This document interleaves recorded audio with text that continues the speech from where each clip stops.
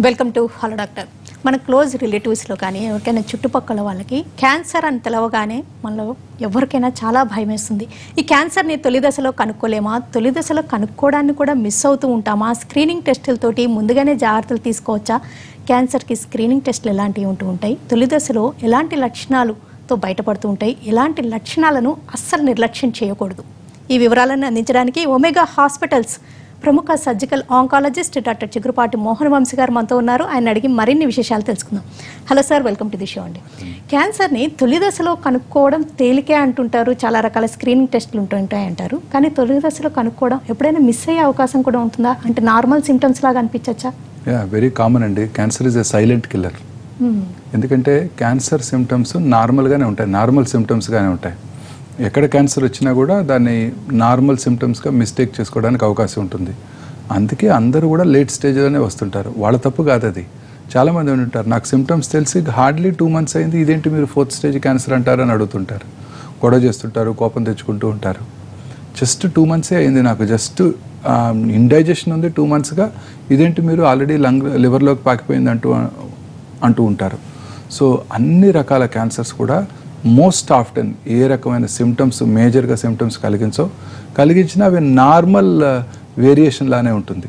ఉదాహరణకి oral cavity నుంచి మనం చూసినట్టయితే ఓరల్ క్యాన్సర్స్ చిన్న మానని పుండేదో ఉంటుంది లేదా ఎరుపు తెలుపు మిళితమైన ప్యాచెస్ ఉంటాయి.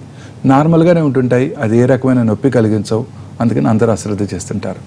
చిగుళ్ళ మీదో నాలిక కింది భాగంలోనో అంగటి మీదో మానని పుండు ఒకటి ఉంటుంది. అశ్రద్ధ చేస్తూ ఉంటారు. సో అవి నొప్పి కలిగించవు. మెల్లగా పెరుగుతూ ఉంటాయి. బట్ ఏ రకమైన బాధ కలిగించవు. సో అందువల్ల డాక్టర్ దగ్గరికి రారు.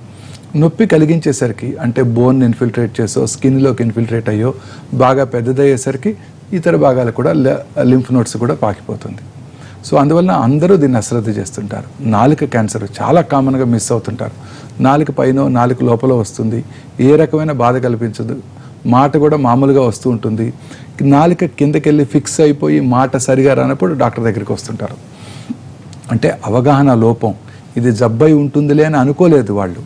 అందువల్లనే చాలా నెగ్లెక్ట్ చేస్తూ ఉంటారు.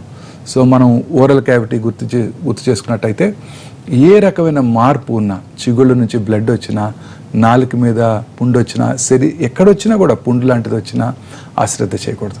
ముఖ్యంగా పెయిన్ లేదు కదా అని అశ్రద్ధ చేయకూడదు.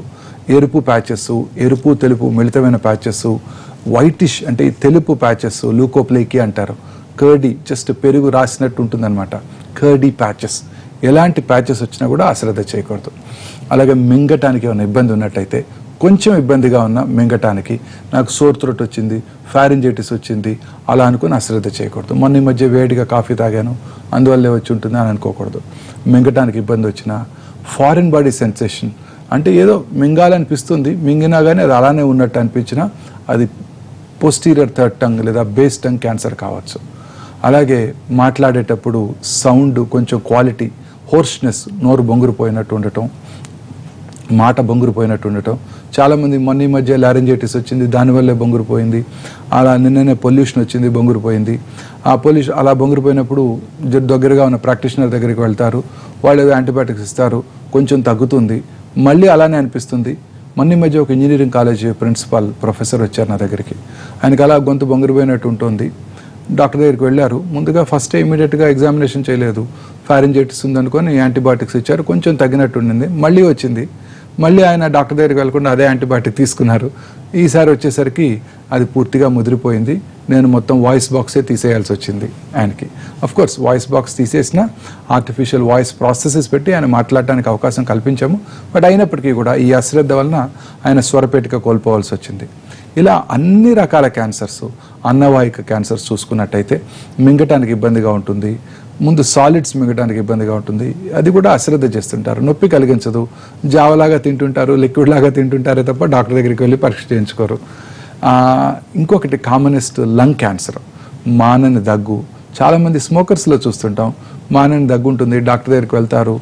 క్రానిక్ కాఫ్ స్మోకర్స్ కాఫ్ అనుకుంటారే తప్ప క్యాన్సర్ వచ్చింది అనుకోరు లాస్ట్ ఇయర్ వెళ్ళాను డాక్టర్ దగ్గరికి ఇదే మానని దగ్గుంటే అప్పుడు డాక్టర్ గారు సిటీ స్కాన్ కూడా చేసి బ్రాంకైటిస్ అన్నారు ఏమి క్యాన్సర్ లేదన్నారు. సో ఈసారి కూడా అదే అయి ఉంటుందిలే అని అశ్రద్ధ చేస్తుంటారు. సో మానని ప్రాబ్లం ఏదైనా కూడా ఉంటే వెంటనే మళ్ళీ మళ్ళీ డాక్టర్ దగ్గరికి వెళ్ళి పరీక్ష చేయించుకోవాలి. సో అన్నవాహిక క్యాన్సర్స్కి వచ్చినట్టయితే అలాగే గ్యాస్ట్రిక్ క్యాన్సర్ అసలు సిమ్టమ్సే కలిగించవు. మైల్డ్ ఇండైజెషను నాకు గ్యాస్ ఉంది డాక్టర్ గారు అంటుంటారు. గ్యాస్ అందరికీ ఉంటుంది గ్యాస్ పోతూనే ఉంటుంది. అంటే వారు అనేది ఏంటంటే పొట్ట ఉబ్బరించినట్టు ఉండటం కొంచెం ఫుడ్ తీసుకోగానే పొట్ట ఫుల్ అయిపోయినట్టు ఉండటం అలాగే కొంచెం మండినట్టు ఉండటం ఇవన్నీ కూడా గ్యాస్ట్రిక్ క్యాన్సర్ లక్షణాలు. మామూలుగా మనం రోజు మార్నింగ్ బ్రేక్ఫాస్ట్కి నాలుగు ఇడ్లీలు తింటున్నాం అనుకోండి రెండు ఇడ్లీలు తినగానే పొట్ట ఫుల్ అయిపోయినట్టుంది అనుకోండి అది వెరీ ఎర్లీ గ్యాస్ట్రిక్ క్యాన్సర్ కావచ్చు. సో అలాగే మలమూత్ర విసర్జన అలవాట్లో మార్పు రావటం మోషన్లో బ్లడ్ పట్టడం వెరీ కామన్ సిమ్టమ్ పైల్స్ ఉన్నాయి. నాకు చాలా కాలంగా పైల్స్ ఉన్నాయి. లాస్ట్ ఇయర్ కూడా పైల్స్ ఉన్నాయి. డాక్టర్ దగ్గరికి వెళ్ళాను. పైల్స్ ఆపరేషన్ చేశారు. తగ్గిపోయింది. ఇది ఇప్పుడు కూడా అదే అయి అని మోషన్లో బ్లడ్ పట్టాన్ని అశ్రద్ధ చేస్తారు. అలాగే మోషన్ లూజ్ మోషన్స్ అవటం ఆల్టర్నేటింగ్ లూజ్ మోషన్స్ కాన్స్టిపేషన్ ఉండటం అలాగే మోషన్ పాస్ చేసినా కూడా ఇంకా పాస్ చేయాలని అనిపించడం ఫీలింగ్ ఆఫ్ ఇన్కంప్లీట్ ఎవాక్యువేషన్ మనం మోషన్ పాస్ చేశాక మనకు ఒక మంచి రిలీఫ్ ఉంటుంది. ఆ మోషన్ పాస్ చేశాక కూడా ఆ రిలీఫ్ లేదనుకోండి అది ఆ లోవల్ రెక్టల్ క్యాన్సర్ కావచ్చు. అలాగే right colon cancers they are really silent killers ఏ రకమైన సిమ్టమ్స్ కలిగించవు. అక్కడ రైట్ కోలన్ చాలా కెపాషియస్గా ఉంటుంది. చిన్న అల్సర్ ఉంటుంది. బ్లీడింగ్ కలగజేస్తుంది. ఆ బ్లడ్ పోతూ ఉంటుంది. వీక్ అయిపోతుంటారు. నేను నాకు వీక్నెస్ ఉంది. రక్తం తగ్గిపోయిందని రక్తం ఎక్కించుకుంటారు. నాకు వీక్నెస్ ఉందని చెప్పి యాభై ఆరు వేల వయసులో ఈ క్యాన్సర్స్ చాలా కామన్ కార్డియాలజిస్ట్ దగ్గరికి వెళ్తారు. కార్డియాలజిస్టు ఒకసారి ఎంజాయ్ చేసినట్టయితే ఏదో ఒక బ్లాక్ ఉంటుంది అందరికీ రెండు స్టెంట్లు కూడా ఎంచుకుంటారు ఆ తర్వాత ఇంకా వీక్నెస్ కంటిన్యూ అయితే డాక్టర్ దగ్గరికి వస్తుంటారు. సో ఇలా క్యా ovarian cancer real silent killer లోపల పెరుగుతూ ఉంటుంది ఏ రకమైన బాధ కలిగించదు. చాలామంది స్త్రీలు నా దగ్గర పొట్ట లావు అవుతుందని చెప్పి ఎక్సర్సైజ్ కూడా చేస్తుంటారు. చేస్తున్నామంటే అయినా తగ్గలేదు అప్పుడు క్యాన్సర్ డయాగ్నోస్ అయింది అనుకుంటారు. ఇలా మన శరీరంలో వచ్చే ప్రతి మార్పుని అశ్రద్ధ చేయకూడదు. ఓల్డెన్ డేస్లో క్యాన్సర్ ఇన్సిడెన్స్ చాలా తక్కువగా ఉండింది. మిమ్మల్ని భయపెట్టడానికి కాదు క్యాన్సర్ ఇన్సిడెన్స్ ర్యాపిడ్గా పెరిగిపోతుంది. మనలో వచ్చే ప్రతి మార్పుని మన దగ్గరలో ఉండే మన ఫ్యామిలీ ఫిజిషియన్ని కలవాలి. డైరెక్ట్గా వెళ్ళి ఆంకాలజిస్ట్ని కలవాల్సిన అవసరం లేదు. మన ఫ్యామిలీ ఫిజిషియన్ని కలవాలి. మన ఫ్యామిలీ ఫిజిషియన్కి మన ఫ్యామిలీ మీద అవగాహన ఉంది. మనకి ఏమేమి ఉన్నాయి ఏమేమి బాధలు ఉన్నాయి మనని కూడా రెగ్యులర్గా చూస్తున్నారు. మనలో వచ్చే సిమ్టమ్స్ని ఆయన గమనిస్తారు. వెయిట్ అది చూస్తారు. లాస్ట్ టైం లాస్ట్ టైం ఆయన మనం చూశారు అప్పుడు మన వెయిట్ ఎలా ఉంది ఇప్పుడు మనం తగ్గినట్టయితే ఆయనకు అనుమానం వస్తుంది. ఇలా ఏ సిమ్టమ్ని కూడా అశ్రద్ధ చేయకూడదు. Unexplained weight loss very important warning signal అలాగే తినాలనిపించకపోవటం. బ్రేక్ఫాస్ట్ టేబుల్ దగ్గరికి వెళ్తాం తినాలనిపించదు. ఇది కూడా వెరీ ఇంపార్టెంట్ వార్నింగ్ సిగ్నల్లో గ్రేడ్ ఫీవర్ ఎక్కడైనా బాడీలో శరీరంలో ఎక్కడైనా గడ్డలు కనిపించినట్టు ఉండటం. ఇవన్నీ కూడా వార్నింగ్ సిగ్నల్స్ అన్నమాట. సో ఎటువంటి మార్పుని మనం అశ్రద్ధ చేయకూడదు. అశ్రద్ధ చేయకుండా మన దగ్గరలో ఉన్న మన ఫ్యామిలీ ఫిజిషియన్ కలిస్తే ఆయన దానికి వైద్యం చేస్తారు. ఒకవేళ తగ్గకపోయినట్టయితే ఆయనే మళ్ళీ ఫర్దర్గా టెస్టులు చేస్తారు. ఉదాహరణకి పొట్ట ఫుల్ అయినట్టుంది అనుకోండి వెంటనే ఎండోస్కోపీ ఆర్డర్ చేయరు. యాసిడిటీ ఉండొచ్చు దానికి ఏదో మెడిసిన్స్ ఇస్తారు. మళ్ళీ తగ్గకపోయినట్టయితే మళ్ళీ అదే డాక్టర్ని సంప్రదించినట్టయితే ఓహో లాస్ట్ టైం మెడిసిన్ ఇచ్చినప్పుడు కూడా తగ్గలేదు. ఈసారి ప్రాబల్ లోపల ఏదో ఉన్నదని ఆయన రిఫర్ చేయవచ్చు ఆంకాలజిస్ట్ దగ్గరికి. సో మన ఫ్యామిలీ ఫిజిషియన్ కలవటం ఎటువంటి మార్పుని అశ్రద్ధ చేయకుండా ఉండటం చాలా ఇంపార్టెంట్. అంటే వార్నింగ్ సైన్స్ లేదా అశ్రద్ధ చేయకుండా ఉండడం ఇవి మీరు చెప్తున్నారు. కానీ కొంతమందిని చూస్తుంటారు మీరే చూస్తుంటారు. జనరల్ చెకప్కి వెళ్ళానండి. సంథింగ్ చేంజ్ అన్నారు. సైలెంట్ కిల్లర్ అంటే ఇలాంటి లాస్ట్ వీకే ఒక పేషెంట్ చూశానండి. అరవై నాలుగేళ్ళు ఉన్నాయి ఆయనకి. జస్ట్ కాఫ్ అండ్ కోల్డ్ అనుకుంటా డాక్టర్ దగ్గరికి వెళ్తే ఆయన ఎక్స్రే తీస్తే చిన్న షాడో కనపడింది. సో నా దగ్గరికి వచ్చారు. షాడో కనపడంగానే నేను డైరెక్ట్గా ఎక్స్రే చూడగానే ఇది ఆబ్వియస్గా malignancy of course he was a smoker so malignancy అని అనుకొని నేను సిటీ స్కాన్ ఆ తర్వాత బయాప్సీ చేసి పెట్ స్కాన్ కూడా చేశాను. బోన్ మెట్స్ ఉన్నాయి ఆయనకి. ఎస్పెషలీ ఎసిటాబిలం అంటే ఈ తుంటి ఎముక దగ్గర జాయింట్ కీలు తుంటి కీలు దగ్గర మెటస్టైస్ ఉన్నాయి. సో లంగ్ క్యాన్సరే కాదు లంగ్ క్యాన్సర్ కూడా బోన్స్ కూడా. పాకిపోయింది. ఆయనకి ఏం సిమ్టమ్స్ లేవు. హ్యాపీగా ఉన్నారు ఆయన. జనరల్గా ఇలా చూసినప్పుడు జనరల్గా పేషెంట్ని బయట కూర్చోబెట్టి అటెండర్స్కి బ్రీఫ్ చేస్తాం ఫస్ట్ ఇక్కడ అలా బ్రీఫ్ చేయకపోతే ఆ పిల్లలు వాళ్ళకేం తెలుసు? నాకే డైరెక్ట్గా చెప్పండి అన్నారు ఆయన. సో చెప్పాను. అయ్యా ఇది లంగ్ క్యాన్సర్ ఇలా తుంటి ఎముక దగ్గర కీల్ దగ్గర పాకిపోయింది. మీరు ఇంకా నడవకూడదు. ఎందుకంటే ఆ బోన్ చాలా వీకెన్ అయిపోతుంది. వెయిట్ బేరింగ్ బోన్స్ ఇప్పుడు ఈ కింద భాగం బోన్స్ అన్ని మన బరువు మోస్తాయి. బోన్స్ అన్ని గట్టిగా ఉండి మన బరువు మోయాలి. ఆ బోన్లో జబ్బు వచ్చినట్టయితే అది వీకెన్ అయిపోతుంది. ఈయన మెట్లు దిగినప్పుడు నడిచినప్పుడు ఒక కాలు మీద వెయిట్ పెడితే ఆ బోన్ ఇరిగిపోయింది అనుకోండి జీవితాంతం బెడ్ మీద పడిపోతారు. ఎందుకంటే ఈ ఆ పెథలాజికల్ ఫ్రాక్చర్ అంటారు దాన్ని. డ్యామేజ్ అయిన బోను అంటే క్యాన్సర్ వల్ల డ్యామేజ్ అయిన బోను ఎస్పెషల్లీ ఆ హిప్ జాయింట్ దగ్గర వచ్చినప్పుడు life long he will suffer if it is fractured అనమాట సో అందుకని మీరు బెడ్ రెస్ట్లో ఉండాలి ఇంకా నడవకూడదు వీల్ చైర్లో వెళ్ళండి బోన్ స్ట్రెంథనింగ్ ఇంజెక్షన్స్ రేడియేషన్ గట్రా ఇవ్వాల్సి ఉంటుందని చెప్తే ఆయనకి చాలా కోపం వచ్చింది. నిన్న రాత్రి నేను షట్లు ఆడుకున్నాను నువ్వు నాకు క్యాన్సర్ వచ్చిందంటావా అని తిట్టి వెళ్ళిపోయాడు. So it's such a silent killer అంటే అంత ఎనర్జెటిక్గా ఉన్నారు. ఉన్నారు లోపల అంత లోపల అంత జబ్బు చాలా కామన్గా చూస్తున్నాం. చాలా ఎల్డర్లీ పేషెంట్స్ చాలా మంది. అంతా బాగానే ఉన్నారు నాకు బాగున్నారు చిన్న సిమ్టమ్స్ అసలు నమ్మలేకపోతున్నారు. కోపం వస్తుంది. అంటే కానీ తప్పనిసరిగా అది నమ్మకం మీద కాదుగా ట్రీట్మెంట్ అయితే తప్పనిసరిగా తీసుకోవాలి తీసుకోవాల్సిందే. కాకపోతే వాళ్ళు ఇంకా రీఅష్యూరెన్స్ కోసం అంటే లేకపోతే తప్పనిసరిగా ట్రీట్మెంట్ తీసుకోవాలన్నదా సెకండ్ ఒపీనియన్కి వెళ్ళి వస్తే బెటర్ అంటారు నువ్వు generally these are phases of cancer diagnose అయినాక మనకు ఒక ఇది ఉంది ఫస్ట్ రియాక్షన్ ఎలా ఉంటుందంటే పేషెంట్స్కి అటెండర్స్కి డినయల్ ఇది క్యాన్సర్ కాదు ఏదో తప్పు ఎక్కడో తప్పు జరిగింది అప్పుడు ఎండోస్కోపీ చేసినప్పుడు డాక్టర్ గారు ఏడెనిమిది మంది పేషెంట్స్ చేశారు అక్కడ నా ముందున్న పేషెంట్ చాలా సిగ్గా ఉన్నాడు. అది అయి ఉంటుంది. సిస్టర్ లేబుల్ చేసినప్పుడు ఆ శాంపుల్ కరెక్ట్గా లేబుల్ చేయలేదు. సో ఫస్ట్ డినయల్ ఇది అయ్యి ఉండదు డాక్టర్ గారు. చాలా మంది వస్తున్నారు. నిన్న ఈ మధ్య ఒక చాలా మంది ఫ్యామిలీ వచ్చారు నా దగ్గరకు ఒక ఐదు ఆరుగురు మంది వచ్చేసారు మా వాళ్ళ సిస్టర్కి బ్లడ్ క్యాన్సర్ డయాగ్నోస్ చేశారు. అదేదో తప్పు ఉంది అక్కడ ఇంటి నేము ఎన్ పద్మజ బదులు ఎం అనేదో ఉంది. అట్లా దాన్ని డినయల్ అనమాట నెక్స్ట్ ఫేజ్ యాంగ్విష్ కోపం. నాకు ఎందుకు వచ్చింది? నేను I had been good individual సొసైటీకి హెల్ప్ చేస్తూ ఉన్నాను. నాకు ఏ రకమైన బ్యాడ్ హ్యాబిట్స్ లేవు. రోజు దేవుడిని ప్రే ప్రే చేసుకుంటున్నాను. నాకెందుకు వచ్చింది? Anguish third phase acceptance so ఇవన్నీ మనం ప్రిపేర్ అయి ఉండాలి. పేషెంట్ని ప్రిపేర్ అయి ఉండాలి. ఫస్ట్ డినయల్ దాన్ని వాళ్ళు రీఅష్యూర్ చేస్తాము. అయ్యా అలా జరగదు. ఇవన్నీ కూడా చాలా కేర్ఫుల్గా చేస్తారు. ప్లానింగ్ బయాప్సీ ఏ చిన్న హాస్పిటల్ అయినా దీని యొక్క విలువ ఇంపార్టెన్స్ అందరికీ తెలుసు అంటాం. తర్వాత యాంగ్విష్ యాంగ్విష్ ఫేజ్లో we have to counsel them we have counsellors they would talk to them they would reassure them and ఒకసారి తెలిసాక స్టేజింగ్ అది తెలిసాక స్టేజ్ ప్రాంప్ట్గా వాళ్ళకి అన్నీ చెప్పి తర్వాత ఇప్పుడంతా కూడా everything is on their palm top గూగుల్లో చూసుకుంటే అన్నీ వచ్చేస్తాయి. స్టేజ్ ఆఫ్ ద డిసీజ్ ఇప్పుడు అన్నీ we have to be honest them ఎంతవరకు క్యూర్ అవుతుంది? ఊరికే అన్నెసరీ ప్రామిస్ చేయలేం. ఎందుకంటే ఇంటికి వెళ్ళాక వాళ్ళు అన్నీ చూసుకుంటారు అన్నీ కనబడుతూనే ఉంటాయి. క్యూర్ అయ్యే అవకాశాలు ఎంత ఉంటాయి? అన్నీ వాళ్ళకి అన్ని గూగుల్లో అన్నీ కనబడుతూనే ఉంటాయి. ఇప్పుడు క్యాన్సర్ ట్రీట్మెంట్ కూడా స్టాండర్డైజ్ చేశారు అన్ని గైడ్ లైన్స్ ఉన్నాయి NCCN guidelines national cancer control network USA two zero one eight guidelines అన్ని ఆ గైడ్ లైన్స్ ఫాలో అయిపోతే we are safe patients are safe ఎక్కడ కూడా స్టాండర్డ్ గైడ్ లైన్స్ ఇది క్యాన్సరు ఇది diagnostic tools early breast cancer వచ్చింది PET scan చేయని అవసరం లేదు. వాళ్ళకి bone scan ultrasound abdomen x-ray చేసి చేయాలి. లేట్ స్టేజ్ బ్రెస్ట్ క్యాన్సర్ వచ్చింది పెట్ స్కాన్ చేయాలి వాళ్ళకి. శరీరంలో ఇతర భాగాలకు పాకిందా లేదా? అన్నీ కూడా గైడ్ లైన్స్ ఉన్నాయి. ఆ గైడ్ లైన్స్ ఫాలో అయిపోతే స్టేజింగు అలాగే ట్రీట్మెంట్ కూడా ఈజీగా చేయడానికి అవకాశం ఉంటుంది. క్యాన్సర్ని నిర్ధారించడానికి వేరియస్ టెస్టులు చేస్తుంటారు కదండి. పెథలాజికల్ బ్లడ్ మార్కర్స్ అవి కూడా చేస్తుంటారు. ఈ రేంజ్ కంటే ఎక్కువ ఉంటే క్యాన్సర్ అని. ఎప్పుడైనా ఒక్కసారి డయాగ్నోస్ చేశాక ఇంకా అది క్యాన్సర్ అనే అన్- అనుకోవాల్సిందేనా? అది రివర్స్ అయ్యే ఛాన్స్ కానీ ఇంకొకసారి లేదా రెండు మూడు సార్లు కొంత టైం ఇచ్చి చేయడం కానీ అట్లా అవకాశం ఉండదా? ఆ, చాలా మంది అడుగుతుంటారు బయాప్సీ చేయగానే నాకు ఆ బ్లాక్ ఇంకోటి ఇవ్వండి ఇంకో ల్యాబ్కి వెళ్ళి చెక్ చేయించుకుంటానని. సి ఓల్డెన్ లెస్లో ఇప్పటికీ కూడా చాలా మంది సర్జన్స్ బయాప్సీ చేస్తారు లింఫ్నోడ్ బయాప్సీ చేస్తారు. రెండు పీసులుగా కట్ చేసి ఒక ల్యాబ్కి ఒక ల్యాబ్కి పంపుతూ ఉంటారు. అది చాలా తప్పు అది. ఒక ల్యాబ్కే పంపాలి. ఓల్డెన్ డేస్లో అంతా కూడా సబ్జెక్టివ్గా ఉండేది. పెథాలజిస్ట్ పరీక్ష చేసి అది క్యాన్సర్ మైక్రోస్కోప్లో చూసి క్యాన్సరా కాదా చెప్పేవాళ్ళు. సో అప్పుడు ఏదో కొంచెం అనుమానంగా ఉండేది. ఏమిటి ఇది క్యాన్సరా కాదా? ఈ పెథాలజిస్ట్ మంచి పెథాలజిస్ట్ ఇంకో పెథాలజిస్ట్ ఏమంటారు? చూద్దామని కట్ చేసి రెండింటికి ముప్పై ఏళ్ళ క్రితం పంపించేవారు. ఇప్పుడు ఏమీ లేదు. ఇదంతా కూడా సబ్జెక్టివిటీ లేనే లేదు. అంతా కూడా ఆబ్జెక్టివ్. శాంపుల్ ఒక చోటకే పంపాలి. ఆ పెథాలజిస్టే దాన్ని గ్రాస్ చేస్తారు. అంటే గ్రాస్ కట్ చేసినప్పుడు వాళ్ళు ఫైండింగ్స్ నోట్ చేసుకుంటారు. దాని తర్వాత మైక్రోస్కోపిక్గా దాన్ని అనలైజ్ చేస్తారు. ఆ తర్వాత immunohistochemistry.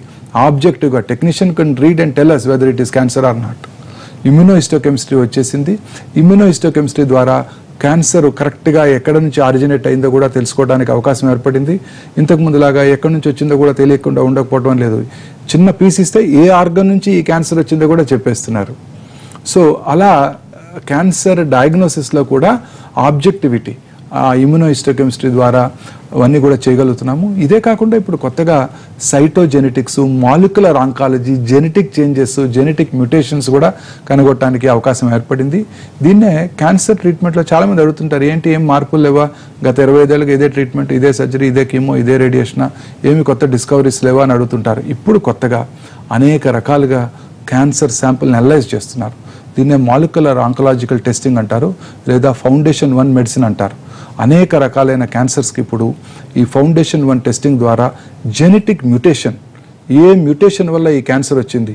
Four hundred and ninety nine gene testing చేస్తున్నారు.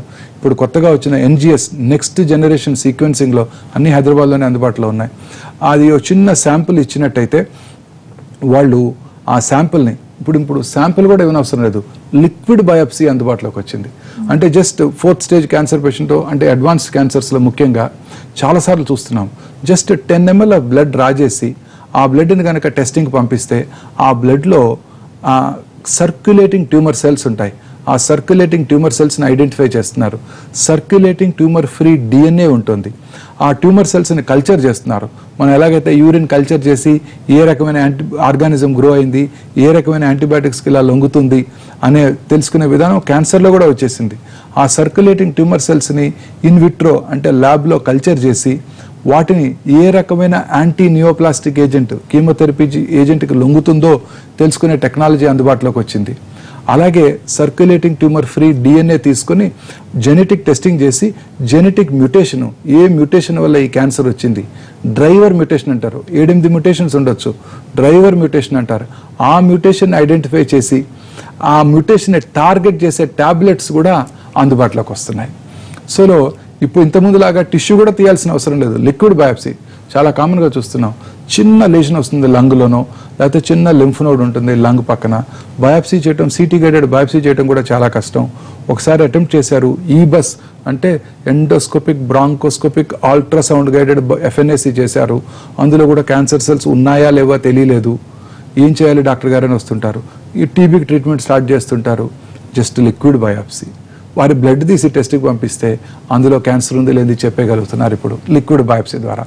సో ముందు లిక్విడ్ బయాప్సీ కానీ ఎన్జిఎస్ టెస్టులు కానీ అంటే ఈ లేటెస్ట్ డెవలప్మెంట్స్ అన్ని స్టడీ అంతా క్యాన్సర్ వచ్చాక క్యాన్సర్ రాకముందే వచ్చే. రిస్క్ ఉందా అనే స్క్రీనింగ్ టెస్టులు వాటికి ఇంకా రాలేదు ఇంకా రాలేదు అంతవరకు రాలేదు మనం. చాలా మంది ఈ మధ్య ఎన్జిఎస్ చేయించుకున్నారు. మన కొలీగ్స్ నాకు తెలిసిన వాళ్ళు కూడా వాళ్ళ జెనెటిక్ మ్యూటేషన్ టెస్టింగ్ చేయించుకున్నారు. దెర్ ఆర్ సమ్ మ్యూటేషన్స్ వాళ్ళలో కూడా సమ్ మ్యూటేషన్స్ ఇన్ఫాక్ట్ ఈ company main చీఫే who was giving this lecture he himself వారే ఆ టెస్ట్ చేయించుకుని నాకు ఒక మ్యూటేషన్ పాజిటివ్గా ఉంది ఒక డ్రైవర్ మ్యూటేషన్ నాకు కోలన్ క్యాన్సర్ వచ్చే అవకాశం ఉన్నట్టు కనబడుతోంది అని కూడా చెప్తున్నారు. బట్ ఇట్ సైన్స్ ఇంకా అంత ప్రోగ్రెస్ అవ్వలేదు. అంటే ఇప్పుడు నేను ఇంకా చేయించుకోలేదు నాకు ఎన్జిఎస్ నాకు కూడా ఉంది అది చేయించుకుందామా నాకు ఏదైనా క్యాన్సర్ వచ్చేది తెలుస్తుందా లేదా అనేది అంటే ఇంకా సైన్స్ ఇంకా అంత డెవలప్ అవ్వలేదు. యాజ్ ఆఫ్ నౌ క్యాన్సర్ వచ్చిన వాళ్ళకి ఖచ్చితంగా జెనెటిక్ మ్యూటేషన్ ఏమిటి ఆ మ్యూటేషన్ ఎలా టార్గెట్ చేయాలి ఏ డ్రగ్తో టార్గెట్ చేయాలి అని తెలుసుకునే వరకు వచ్చేసింది. డెవలప్మెంట్స్ వచ్చాయి. ఇప్పుడు ఉదాహరణకి ఇంతకు ముందు బ్రెస్ట్ క్యాన్సర్ ఉందనుకోండి హర్సెప్టిన్ అనే మెడిసిన్ ఇస్తున్నాం. మీ అందరూ అందరూ చాలా మంది తీసుకుంటుంటారు. Breast cancer పేషెంట్లో HER two neu receptor positive ఉన్నట్టయితే హర్సెప్టిన్ అనే మెడిసిన్ ఇస్తున్నాం. అలాగే మన ఈ మధ్య ఒక ovarian cancer patient advanced ovarian cancer patient నాలుగైదు రకాల ట్రీట్మెంట్స్ తీసుకున్నాక మా దగ్గరకు వచ్చారు ఫెయిల్ అయిపోయిన తర్వాత. ఏం చేయాలి అంటే వాళ్ళకి ఈ టెస్ట్ చేయిస్తే వాళ్ళకు కూడా హర్ టు న్యూ పాజిటివ్ వచ్చింది. వాళ్ళకి హర్సెప్టిన్ ఇచ్చాము జబ్బు తగ్గిపోయింది. సో ఇంతకు ముందులాగా పెంచగలిగాం. ఇంతకు ముందు ఆర్గన్ బేస్డ్ ట్రీట్మెంట్ అంటే ఫ్యూచర్ ఆఫ్ ఆంకాలజీ ఎలా ఉండబోతోందంటే ఆర్గన్ బేస్డ్ ట్రీట్మెంట్ కాదు. బ్రెస్ట్ క్యాన్సర్ వస్తే ఏం వైద్యం చేయాలి? బ్రెస్ట్ క్యాన్సర్కి ఎడ్రియామెసిన్ బేస్డ్ ట్రీట్మెంటా టాక్సాల్ బేస్డ్ ట్రీట్మెంటా కోలన్ క్యాన్సర్కి ఆక్సాలిప్లాటిన్ బేస్డ్ ట్రీట్మెంటా ఇలా ఇలా ఉండదు ఇంకా. ఫ్యూచర్ ఎలా ఉండబోతోందంటే ఆర్గన్ ఏదైనా కానీ మ్యూటేషన్ బేస్డ్ ట్రీట్మెంట్ అవుతుంది. అంటే డీప్ స్టడీ పెరిగింది. Target oriented treatment personalised personalise treatment. దీన్నే ఎస్ మీరు కరెక్ట్ వర్డ్ వాడారు. Personalised custom made treatment. Custom made treatment. Patient vaccine ఆ ట్యూమర్ని థరోగా అనలైజ్ చేసి జెనెటిక్ మ్యూటేషన్ టెస్టింగ్ చేయించి ఏ మ్యూటేషన్ ఉంది? అలాగే ట్యూమర్ సెల్స్ని కల్చర్ చేసి దేనికి లొంగుతుంది? ఇవన్నీ తెలుసుకునే ఫెసిలిటీస్ ఇప్పుడు అందుబాటులోకి వస్తున్నాయి. ఇవన్నీ కూడా ఇప్పుడు ఇండియాలో ఇప్పుడు అందుబాటులోకి వచ్చేసాయి ఆల్రెడీ. సో వీటి ద్వారా ముఖ్యంగా అడ్వాన్స్డ్ క్యాన్సర్ పేషెంట్స్కి వైద్యం చేయగలుగుతున్నాము. అంటే అనేక రకాలైన అడ్వాన్స్డ్ క్యాన్సర్ పేషెంట్స్కి ఈ ఫౌండేషన్ వన్ టెస్టింగ్ అలాగే ఆర్జీసీసీ అంటారు. రీసెర్చ్ జెనెటిక్ క్యాన్సర్ సెంటర్ వీటి ఇది ఎఫ్డీఏ అప్రూవ్డ్ సెంటర్స్ ఇవన్నీ కూడా. ఏది ఎక్స్పెరిమెంటల్ కాదు అన్ని ఎఫ్డీఏ అప్రూవ్డ్ టెస్ట్ ఇవన్నీ కూడా. కల్చర్ చేసి simple ovarian cancer Taxol carbo ఇవ్వాల్సి వచ్చింది ఒక పేషెంట్కి ఇచ్చాము ఏమి రెస్పాన్స్ లేదు. ఈ లోపల సెల్స్ని ఆర్జీసీసీకి పంపించాము. వేరే ఏదో న్యూ మెడిసిన్స్కి పాజిటివ్ సెన్సిటివ్ అని వచ్చింది. ఆ మెడిసిన్స్ ఇచ్చాము తగ్గిపోయింది. అలాగే క్యాన్సర్ తగ్గుతుంది లేనిది. ఇప్పుడు ఉదాహరణకి క్యాన్సర్ ట్రీట్మెంట్ చేస్తున్నాం ఉంటాయి కీమోథెరపీ ఇస్తున్నాము అడ్వాన్స్ క్యాన్సర్ పేషెంట్కి నాలుగు కోర్సులు అయిపోయాక రిపీట్ స్కానింగ్ చేసి తబ్బు తగ్గిందండి అని చెప్పేవాళ్ళం ఇంతకుముందు. అయ్యో తగ్గలేదండి మళ్ళీ మెడిసిన్ మార్చాలని అని కూడా చెప్పాల్సి వస్తుంది. ఇప్పుడు అలా కాకుండా సర్క్యులేటింగ్ ట్యూమర్ సెల్స్ స్టడీ చేస్తున్నారు. అంటే ట్రీట్మెంట్ స్టార్ట్ చేయకముందు. సర్క్యులేటింగ్ ట్యూమర్ సెల్స్ ఎన్ని ఉన్నాయి? ఒక కోర్స్ ఇచ్చాక సర్క్యులేటింగ్ ట్యూమర్ సెల్స్ ఎంత తగ్గాయి? రెండో కోర్స్ ఇచ్చాక ఇంకెంత తగ్గాయి? తగ్గలేదా? అయితే ఈ మెడిసిన్ వాజ్ ఇన్ఎఫెక్టివ్ సో ఇంకొక మెడిసిన్ ట్రై చేయాలి. ఇలా అనేక రకాలైన న్యూవర్ క్యాన్సర్ చికిత్స ఆప్షన్స్ ఈ ర్యాపిడ్ అడ్వాన్సెస్ ఇన్ దిస్ మీరు పెథాలజీలో జెనెటిక్ మ్యూటేషన్ టెస్టింగు అలాగే ఈ క్యా cell circulating tumour cells count circulating tumour సెల్స్ని culture చేసి ఏ రకమైన యాంటీ న్యూప్లాస్టిక్ ఏజెంట్ లొంగుతుంది. ఇలా వీటన్నిటి ద్వారా క్యాన్సర్ చాలామంది అడ్వాన్స్డ్ క్యాన్సర్ పేషెంట్స్కి మనం లైఫ్ స్పాన్ పెంచగలుగుతున్నాం. కానీ ఓన్లీ ప్రాబ్లం ఏంటంటే all these are prohibitively expensive సామాన్య మానవుడు కాదు కదా రిచ్ మ్యాన్ కూడా అందుబాటులో లేవు. సో చాలాసార్లు నాకు చాలామంది యంగ్స్టర్స్ వచ్చి ఇలా క్యాన్సర్ ఉంది ఇలా క్యాన్సర్ ఉంది ఏం చేయాలి? అంటే నేను ఆన్సర్ చెప్పలేకపోతున్నాను. ఎందుకంటే చెప్తే ఇదేంటి డాక్టర్ గారు ఇంత ఎక్స్పెన్సివ్ మెడిసిన్ ఇంత ఎక్స్పెన్సివ్ టెస్టులు చెప్తున్నారు అనుకుంటున్నారు. చాలామంది అడుగుతున్నారు. ఏంటి డాక్టర్ గారు ఇలా ఎక్స్పెన్సివ్ టెస్టులు చెప్తున్నారు? రిచ్ మ్యాన్ లేటెస్ట్ ఇంత అడ్వాన్స్డ్ ఈ టెస్టులు కాకుండా ఇన్ జనరల్గా కొంతవరకు క్యాన్సర్ వంశపారంపర్యం అంటే కొన్ని రకాల క్యాన్సర్స్ కొంత రిస్క్ ఉంటుంది కదండి. ఫ్యామిలీస్లో రన్ అవుతుంటాయి కదా. అలాంటి భయం ఉన్న వాళ్ళు కానీ లేకపోతే ఏమైనా హ్యాబిట్స్ ఉన్న వాళ్ళు కానీ ఇన్ జనరల్గా ఎలాంటి స్క్రీనింగ్ టెస్టులు చేయించుకుంటే మంచిది? So basically first thing we must ఇంపార్టెంట్గా స్ట్రెస్ చేయాల్సిందంటే క్యాన్సర్ వంశపారంపర్యం కాదు. ఫస్ట్ అండ్ ఫార్మోస్ట్ కొన్ని రకాల క్యాన్సర్స్ తల్లిదండ్రుల్లో కానీ సోదరి సోదరులో కానీ ఉన్నట్టయితే వాళ్ళలో ఈ క్యాన్సర్ వచ్చే అవకాశాలు సాధారణ ప్రజానీకం కన్నా కొంచెం ఎక్కువ. వెరీ తక్కువ పర్సంటేజ్ ఆఫ్ కేసెస్ జెనెటిక్గా ట్రాన్స్మిట్ అవుతాయి. Angelina Jolie example BRC one BRC two తల్లి గారికి ఉంది అమ్మమ్మ గారికి ఉండింది వారికి వస్తుంది అనే అనుమానంతో వారు తీయించేసుకున్నారు. అలా కొన్ని రకాలు. Breast thyroid pancreas prostate and colon ఇది కనుక ఫ్యామిలీ మెంబర్స్లో ఉన్నట్టయితే వీళ్ళు రెగ్యులర్గా స్క్రీనింగ్ టెస్టులు చేయించుకోవాల్సి ఉంటుంది. కొన్ని క్యాన్సర్స్ ఎస్పెషలీ ఓవెరిన్ క్యాన్సర్ అరవై ఏళ్ళ కన్నా తక్కువ వయసులో ఓవెరిన్ క్యాన్సర్ డయాగ్నోస్ అయితే ఖచ్చితంగా వాళ్ళు BRCA one BRCA two test చేయించుకోవాలి. తద్వారా వారికి బ్రెస్ట్ క్యాన్సర్ వచ్చే అవకాశాలు ఎంత ఉన్నాయో తెలిసిపోతాయి. అలాగే బైలేటరల్ బ్రెస్ట్ క్యాన్సర్ వచ్చిన స్త్రీలు చిన్న వయసులో బ్రెస్ట్ క్యాన్సర్ వచ్చిన స్త్రీలు ట్రిపుల్ నెగిటివ్ బ్రెస్ట్ క్యాన్సర్ అంటారు. అంటే ఈస్ట్రోజన్ రిసెప్టార్ ప్రొజెస్టాన్ రిసెప్టార్ హార్టోజన్ రిసెప్టార్ నెగిటివ్ ఉన్న స్త్రీలు అలాగే ఫ్యామిలీలో ఇద్దరు మెంబర్స్కి కనుక బ్రెస్ట్ క్యాన్సర్ వచ్చినట్టయితే లేదా ఫ్యామిలీలో ఒక్క మెంబర్కి బయలటల్ బ్రెస్ట్ క్యాన్సర్ వచ్చినట్టయితే లేదా ఫ్యామిలీలో ఒక మెంబర్కి చిన్న వయసులోనే బ్రెస్ట్ క్యాన్సర్ వచ్చినట్టయితే వీళ్ళందరూ కూడా BRCA one BRCA two genetic testing చేయించుకోవటం ద్వారా వారికి క్యాన్సర్ వచ్చే అవకాశాలు ఎంత ఉన్నాయో ఖచ్చితంగా తెలుసుకోవచ్చు. ఈ టెస్ట్ ఇప్పుడు అన్ని చోట్ల అందుబాటులోకి వచ్చింది. ఇంతకుముందు ఈ టెస్ట్ని రికమెండ్ చేయడానికి కూడా భయపడేవాళ్ళం. ఎందుకంటే ఆ మైరియడ్ కంపెనీ రెండు లక్షల మీద ఛార్జ్ చేసేవాళ్ళు. ఇప్పుడు ఇండియాలో చేసేస్తున్నారు. ఇరవై ముప్పై వేలకి అందుబాటులోకి వచ్చేసింది. సో ఈ టెస్ట్ ఇప్పుడు కామన్ మ్యాన్ కూడా అందుబాటులోకి వచ్చింది. అంటే వీటితో పాటు మేల్ అయితే పిఎస్ఏ టెస్ట్. ప్రతి పురుషుడు కూడా క్యాన్సర్ స్క్రీనింగ్ కోసం యాభై ఏళ్ళు దాటినాక పిఎస్ఏ పరీక్ష చేయించుకోవాల్సి ఉంటుంది. ప్రతి స్త్రీ మ్యామోగ్రఫీ పరీక్ష డెసిగ్నేటెడ్ ఇంటర్వెల్స్తో పాటు సంవత్సరానికి ఒకసారి ప్యాప్స్మియర్ చేయించుకోవటం ద్వారా మనం సర్వైకల్ క్యాన్సర్ రావటాన్ని కూడా ముందుగా గుర్తించవచ్చు. ఓకేనండి డాక్టర్ మోహన్ వంశీ గారు. క్యాన్సర్ని తొలి దశలో ఎలా గుర్తించాలి? ఎలాంటి వార్నింగ్ సిగ్నల్స్ని అస్సలు నెగ్లెక్ట్ చేయకూడదు? అండ్ లేటెస్ట్ డెవలప్మెంట్స్ ఎలాంటివి చోటు చేసుకున్నట్టు? ర్యాపిడ్ అడ్వాన్స్మెంట్స్ క్యాన్సర్ ట్రీట్మెంట్స్లో పర్సనలైజ్డ్ ట్రీట్మెంట్స్ ఎలాంటివి అందుబాటులోకి వచ్చాయి? అండ్ స్క్రీనింగ్ టెస్ట్లు ఇన్ జనరల్గా ఎలాంటివి చేయించుకోవాలో వివరంగా తెలియజేసినందుకు థ్యాంక్స్ థ్యాంక్ యూ మేడం. ఇది ఇవాళ హలో డాక్టర్.